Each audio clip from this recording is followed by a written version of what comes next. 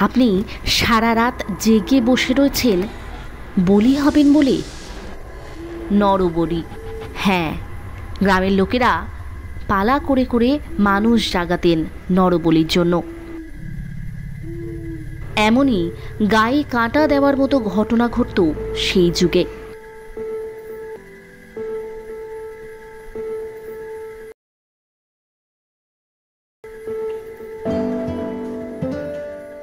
আগের মাসেই আমরা বন্ধুরা মিলে খুব অল্প সময়ের জন্য গিয়েছিলাম ঘাটশিলা ভ্রমণে। সময় অল্প হলেও আশেপাশের কিন্তু বেশ কয়েকটা জায়গা আমরা মন ভরে দেখেছি। সেই ভ্রমণের ভিডিও কিন্তু আমার চ্যানেলেই রয়েছে ডেসক্রিপশনে লিঙ্কও রয়েছে। আজকের ভিডিওটি হচ্ছে মা রঙ্কিনীকে নিয়ে। এই জায়গায় আসার আগেই আমি ভেবে রেখেছিলাম, দেবী রঙ্কিনীকে নিয়ে বলতেই হয়। গালুটি ব্যারেজ হয়ে আমাদের আজকের গন্তব্য ছিল রঙ্কিনী দেবীর মন্দির। এই জায়গাটা জামশেদপুরের মধ্যে। এই জায়গাতেই ভারতের প্রথম ইউরেনিয়াম খনির সন্ধান মিলেছিল। এখান থেকেই ইউরেনিয়াম উত্তোলন শুরু হয়। আশেপাশের প্রকৃতি দেখতে দেখতে কখন যে চলে আসবেন মায়ের মন্দিরে, তা কিন্তু টেরটিও পাবেন না। মায়ের মন্দিরে যাওয়ার আগেই রয়েছে বেশ কয়েকটি দোকান। সেখান থেকে আপনারা পুজোর সামগ্রী কিনে নিতে পারেন। ওই যে দূরে মন্দিরটি দেখছেন, সেটাই হচ্ছে রঙ্গিনী দেবীর বর্তমান মন্দির। মন্দিরের কারুকার্য এক কথায় অপূর্ব। খুব গরম থাকার কারণে বিনামূল্যেই কিন্তু এই জায়গায় পানীয় শরবত সমস্ত ভক্তদেরকে দেওয়া হচ্ছিল। পুজো দেওয়ার জন্য পড়েছিল লম্বা লাইন। তবে আমাদের হাতে কম সময় থাকায় আমরা শুধুমাত্র দর্শন করেছিলাম। আর চিন্তা করবেন না। দর্শনের জন্য কিন্তু লম্বা লাইনের কোনোই প্রয়োজন নেই। রাস্তার ওপরে দাঁড়ালেই দেবীকে আপনি দর্শন করতে পারবেন। বলা হয় দেবী এখানে জীবন্ত। না না, এ কথা কিন্তু আমি বলছি না। এটা বলেন জামশেদপুরের প্রত্যেকটি লোক। জনমুখে এটাই প্রচলিত হয়ে আসছে বরাবরই। দেবী এখানে মা কালী রূপে পূজিত হন। মন্দিরের কারুকার্যতে বর্ণিত রয়েছে বেশ কয়েকটি মহাদেবের দৃশ্য। তার বিভিন্ন অবতারের বিভিন্ন মূর্তি। তার নিচেই রয়েছেন মা দুর্গা, তার সন্তানদের নিয়ে রয়েছেন। এমনকি বিষ্ণুর দশ অবতারের মূর্তিও রয়েছে এই মন্দিরের মধ্যেই চিত্রিত। মন্দিরের গায়ের এই অসামান্য কারুকার্য দেখতে থাকলে যেন মনে হয় তাকিয়েই থাকি। এত নিখুঁতভাবে এই কারুকার্যগুলো তৈরি করা হয়েছে। এখানকার মানুষের ধারণা, মায়ের মন্দিরে যে যা মনোকামনা নিয়ে আসেন, তাই পূর্ণ করেন দেবী রঙ্কিনী এই মন্দিরের মাহাত্ম এতটাই।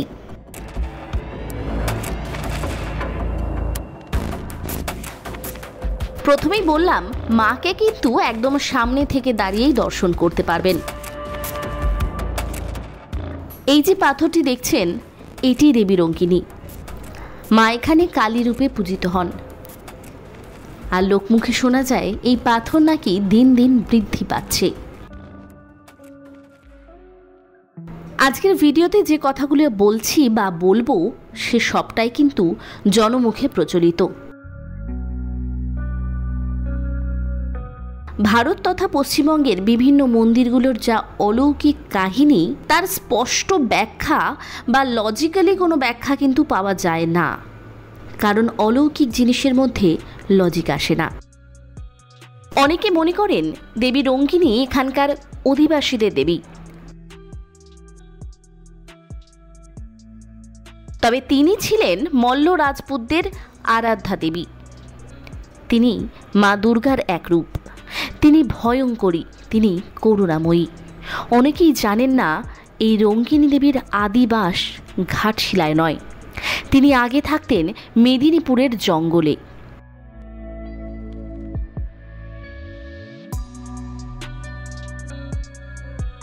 কিন্তু কিংবদন্তি রয়েছে একটা সময় এখানে নর বলি দেওয়া হতো। হ্যাঁ তবে অনেকের মতে স্থানীয় জঙ্গলের রাজারা এই দেবীর সামনে শত্রুদের মুন্ডচ্ছেদ করে শাস্তি দিতেন। গ্রামের লোককে পালা করে জাগতে হতো রঙ্কিন দেবীর কারণে। কারণ নরবলি।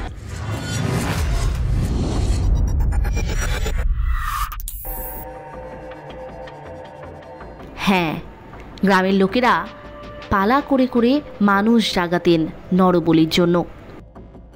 ভাবতে পারছেন? আপনি সারা রাত জেগে বসে রয়েছেন। বলি হবেন বলে। এমনই গায়ে কাঁটা দেওয়ার মতো ঘটনা ঘটত সেই যুগে। একবার এক বিধবার পালা পড়েছিল এই নরবলির জন্য। বিধবার একটি মাত্র পুত্র সন্তান।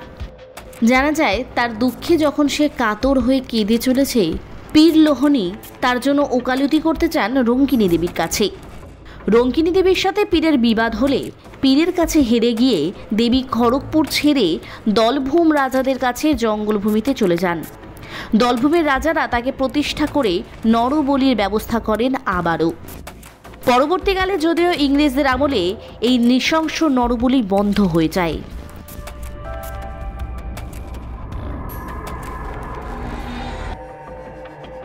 জানা যায়, ভূমিজ সম্প্রদায়ের পুরোহিতেরাই মায়ের মন্দিরের পুজো করতেন। দেবী রঙ্গিনীকে উচ্চ মর্যাদায় অধিষ্ঠিত করা হয়েছিল। সেই জেলায় বসবাসকারী উপজাতি এবং অউপজাতি সবার দ্বারাই পুজো পেতেন দেবী রঙ্গিনী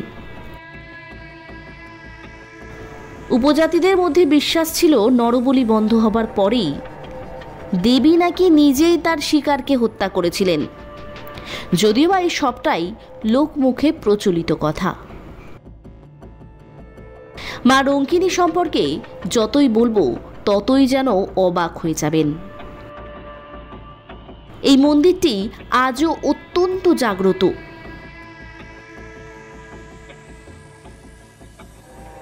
বর্তমানে যে মন্দিরটি আপনারা দেখতে পাচ্ছেন, এটা উনিশশো সাতচল্লিশ থেকে পঞ্চাশ সালের মধ্যে তৈরি হয়েছে।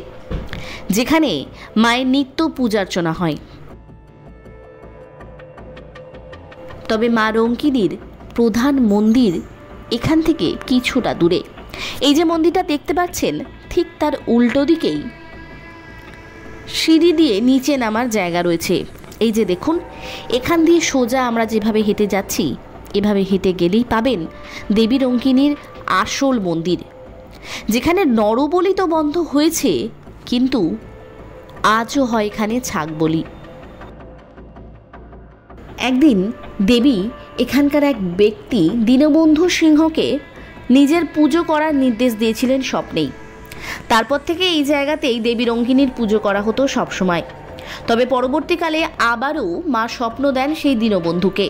বলেন, এমন একটি জায়গা প্রতিষ্ঠা করতে যেখানে জনসাধারণ পৌঁছাতে পারবেন এবং মাতা রঙ্কিনীকে পুজো দিতে পারবেন। তারপরেই প্রতিষ্ঠিত হয়েছিল আজকের এই মন্দিরটি।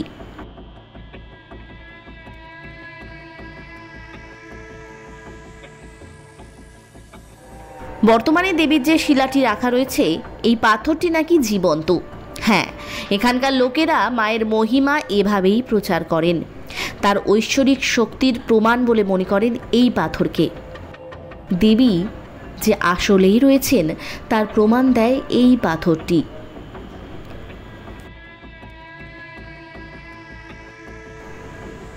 ঘাটশিলা থেকে মাত্র কয়েক কিলোমিটার দূরে অবস্থিত মায়ের এই মন্দির।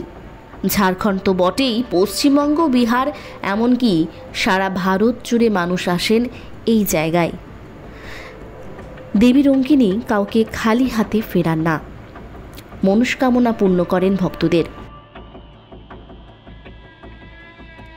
এই জায়গায় যারা প্রকৃতির মাঝে দুটো দিন কাটাতে চান, তারা থাকতে পারেন নিকটবর্তী রাতমোহনা নামের একটি অত্যন্ত সুন্দর স্থানে। তবে আমরা ছিলাম বুরু রিসর্ট নামের একটি জায়গায়। সেটাও কিন্তু খুবই সুন্দর। মায়ের মন্দিরে যাওয়ার জন্য প্রথমে আপনাদেরকে আসতে হবে ঘাটশিলা স্টেশন।